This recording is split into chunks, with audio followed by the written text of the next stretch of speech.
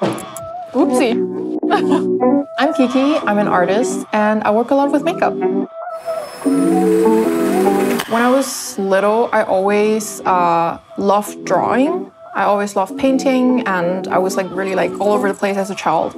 And my mom, she would just sit me down with paper and pen, and I could just sit there for hours. And then when I got older, I realized, okay, there are other surfaces I can paint and draw on, and my face was one of them. When I look into the mirror, the first thing I see is just like blank canvas, and then I just go from there.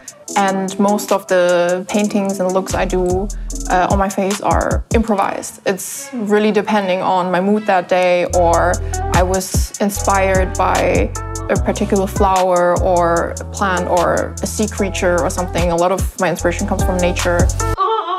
If I compare the 501s, it's the same for me, like it's a blank canvas because it goes with everything. You can style a lot of a lot of colors, a lot of different shapes around it. I see a lot of people customizing their jeans. I really love that, like using dye, using paint, distress it. I think the most important part is that uh, you just try out a lot of different things. I'm not sure if I'm 100% there yet, uh, but I'm working on it, and I think everyone is just working on it and trying to figure it out. 501, the number that changed everything.